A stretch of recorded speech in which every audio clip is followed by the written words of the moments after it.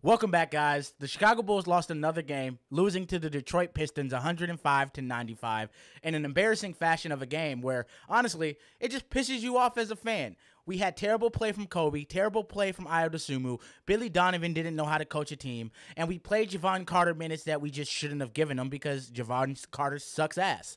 And other than that, this is going to be a rant video. So I'm going to talk a lot of shit I'm going to say a lot of things that probably some people agree with, but probably don't want to say out loud. And we're going to talk about it right after the intro. Give me the hot sauce! Give me the hot sauce, Bob! For the lead! Go! Did you not get the memo? Dosunmu for the lead! I want to go higher! Oh my goodness! Welcome to the Let's Talk Bulls podcast. Welcome back, guys, to Let's Talk Bulls your number one Bulls podcast in Chicago. And if you're new to the channel, hit the like button, hit the subscribe button. Let's get right into this rant because honestly, I don't want to spend too much time talking about this dumbass team tonight because I don't want it to fuck with my mental. So, what we're going to talk about is the Chicago Bulls blowing a game that they should have won in terrible fashion. And part of that was them shooting seven fucking percent from the field. The Bulls shot two for 29 this game. Two for 29. They are a professional basketball team that couldn't shoot the broad iron of a fucking barn. I can shoot better than two for fucking 29. I don't understand why this team is so terrible at shooting threes whenever Coby's not shooting. I don't know what it is mentally, but if Coby's not scoring, no one else on this team knows how to shoot. And the biggest issue with that is not only were we struggling with shooting from the three point line, Billy Donovan's dumbass decided to keep Jevon Carter in this game, even though he's playing just as trash as he always does. I don't know why he continues to get minutes. I just don't. You have Julian Phillips on the bench who has been showing he can shoot probably better than Jevon Carter. We don't want to play him. We just signed Bitim to an actual contract in the NBA one of the best three point shooters on the Windy City Bulls. He could be probably one of the best shooters on the actual Bulls. But guess what? Billy Donovan doesn't know he's on the bench. He doesn't want to play him. We have Drell, who's also on the bench, who's a three point shooter. Nah, we're good. We're going to keep Jevon Ass in there, and he's going to miss wide open layups. He's going to miss three point shots. He's going to fucking airball because for some reason, I've never seen a player who airballs as much as him other than Denzel Valentine. I don't understand what this team is doing. This is a game where you come in. Detroit played last night. They played a hard game and they had to fly here late. And they came out and put it to you right? They were hitting the fast break, getting out, outrunning the Bulls at every angle when it came to getting rebounds and pushing the pace. And this is something that pisses me off because the Bulls aren't super old. We have some old players in DeMar DeRozan, in Vooch, somewhat in Drummond, I will say. But you have to look at how young this team is with Coby and Ayo, and you have Phillips, you have Dalen Terry, you have young players who can get out. But for some reason, we don't want to do that. And I don't know if it's because Billy isn't coaching correctly or if our team is just lazy as all goddamn hell. But there has to be a change. This is the type of shit you can't keep seeing. You just can't. 105 to 95. We lost 10 points. We lost by 10 points to the fucking Detroit Pistons. They literally are one of the worst teams in the league. But honestly, at this point, the Bulls probably are one of the worst teams in the league. This competitive shit that we keep talking about, in all reality, we're competitive with being okay. That is what the Bulls are. The Bulls are a competitive team in the regular season. They're not a fucking competitive team in the playoffs. They're not a competitive team in the plan. This is a team built to just barely make the playoffs so they could say they're a playoff team and keep their jobs. So Jerry can keep getting money from all of us buying tickets because he wants us to make the playoffs so he can say, oh, it's the play in. Buy tickets. We're going to do more. Buy your season tickets next year. We're going to try to be better. This is bullshit. The Bulls suck. They continue to suck. Their continuity is them sucking. So let us know that we are going to be terrible. Let's play the terrible game.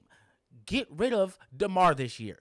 Get rid of Vooch this year. And I love DeMar. I would love DeMar on this team. But let him go to a goddamn team that gives him a chance to do something.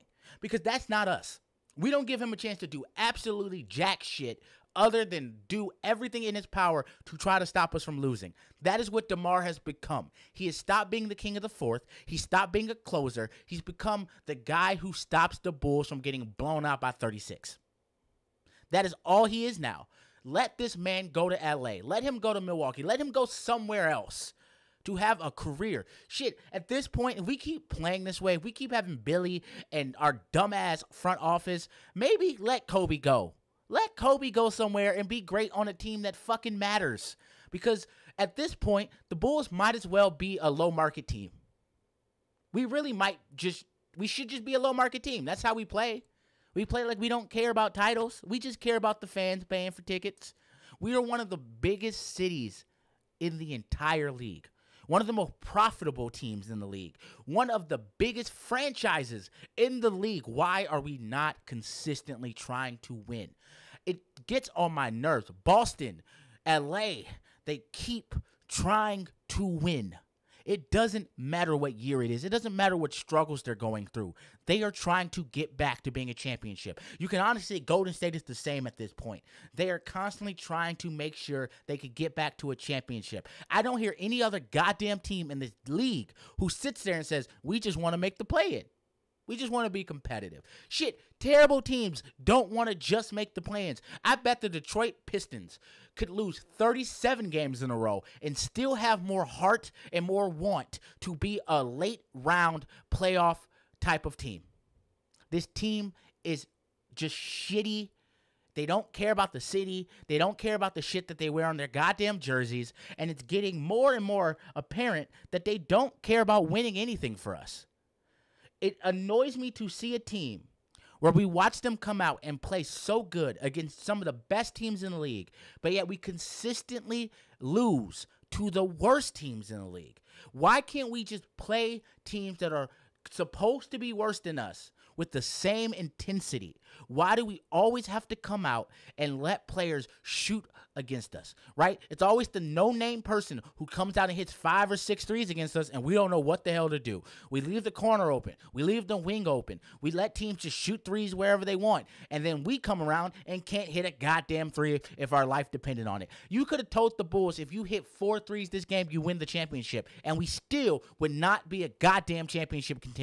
That is an issue And it's just it's to a point now where I just want to make let's talk shit about the Bulls. Like it's it needs to be a whole new series on this channel where I just talk shit about this team and hopefully and I know they won't ever see it, but hopefully Jerry would see this shit and understand how much we hate him. Like it's getting just overly mad and let's talk about the game. Cade Cunningham had 26 points, 5 rebounds, 5 assists, 3 for 5 from the three-point line. Ausar Thompson, the rookie, 13 points, 8 rebounds, 3 assists. Stewart, 11 points. Ivey, 15 points. Duren, 14 points. Fontecchio, right? Fontecchio, some random ass dude on the fucking Detroit Pistons. 17 points, 5 for 9 from the three point line. Four of those threes were in the same corner. The Bulls just left them in the corner, wide open, didn't decide to defend them whatsoever and let them hit because that's what the Bulls do. They let unknown people get some of their best shooting games against us because we don't know how to get out to the goddamn three point line and just play defense, right? If Alex Caruso is not on the floor, this team has no defense. We're just a random assortment of high school players who hope that they can do something, right? There needs to be a change. When you look at this team, right, the Detroit Pistons, one, two, three, four, five, six, six players in double figures. Six players in double figures for the Detroit Pistons. Guess what? The Bulls, we're going to go over their, their numbers. Coby White, 10 points. DeMar DeRozan, 25 points. Vooch, 25 points. Drummond, 20 points. Other than that, you barely had any points, right? Dosunmu, eight points. Caruso, four points. Terry, three points. Jevon Carter, zero points because he's fucking trash. This team can't even score. Right? No one's hitting threes. Coby White, 0 for 5. I would assume we're 0 for 5. Vucevic, 1 for 7. Why is Vuce taking the most threes? Someone tell me why Vuce is taking the most threes. That's an issue in itself.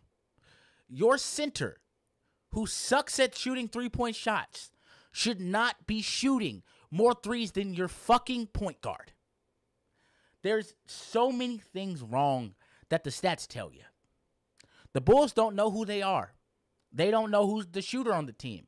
When somebody's struggling, Coby had a bad game. He started to hesitate. He didn't want to pull up. I'd assume he started to hesitate because he was missing. He didn't know what to do. Jevon Carter hesitated because he just hesitates and pump fakes everything, including whatever he thought was going to happen in this career. I don't know what the fuck we thought with that. The only person who wasn't really hesitating was Dalen Terry, who honestly should have been the one having the worst game. This is a game that at the start of it, the first half, I wanted to come and talk about Dalen Terry and how he's showing improvement. I wanted to talk about Coby White coming back in the second half and doing work because I thought that would happen. But now I'm stuck talking about how this team doesn't know how to play consistently. Right now, we are worse off than we were three years ago. And all we keep hearing is we're competitive. If this is what competitive is, if this game is what competitive is where every single game comes down to the fourth quarter because we can't get a 20 point lead on anybody.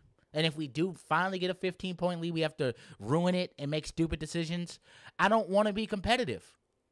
Shit, let me suck then at that point. At least I'll be angry for a reason because we'll be getting better. But this being consistent, being continuity, being, you know, competitive shit that's keeping us in this middle ground of terrible play where we honestly are not the worst team. We don't get great draft picks, but we also have no chance of winning a title. I don't want to be here. I don't. I would much rather live in Detroit than be doing this shit right now. Like this, that's saying some shit, honestly because no one wants to live in Detroit. Shit, Detroit doesn't want to be Detroit. I don't know. Honestly, this was one of those games as a Bulls fan that truly show you why we have to be louder about what terrible things this team is doing. You have to stop giving them undue props because I'm not I'm not ashamed to give them props when they're doing the right thing, but at games like this, because I hear a lot of times I see in the comment section where people blame Billy Donovan on times when it's not his fault. But games like this, it's your fucking fault. Put someone else in. There is no excuse for Jevon Carter to be playing more minutes than Julian Phillips right now. There's none. Why did we sign Bitim to another contract or to an actual contract if he's not going to play? I don't know what we're doing. The Bulls are just making moves, hoping that they can wait this shit out and seeing if they can collect a check long enough they're the you know who the Bulls are? The Bulls are that guy who gets that one girl who gets her income tax every year, right? And he's trying not to cheat, but he waits and he doesn't cheat until she gives him half the check. That's what the Bulls are doing right now. They know that they're going to fucking piss us off. They know they're going to make the wrong decisions, but they're trying to push those decisions off until they make enough money, until they get enough years into this contract before they show their true colors. That's what we are. We're in a terrible, toxic ass relationship with the Chicago Bulls. I hope you guys are just as annoyed as me. I know you probably are. I want to hear it in the comment section. Let me know your thoughts on this team, how they're playing, the bullshit that you're going through. And honestly, let me know if you have a therapist because honestly, I might have to get one strictly for this team, right? I might have to get a therapy session just to be a Bulls fan with that, I hope y'all have a good night. I hope you enjoy everything. I'll see y'all next time. We got a game tomorrow. Hopefully, we don't get fucking blown out after this game because you know how the Bulls are. They play terrible and they come out the next game and look like they have lost their child. I don't know what the fuck's happening. I don't even know what the fuck to say anymore. I'll see y'all next game. Peace.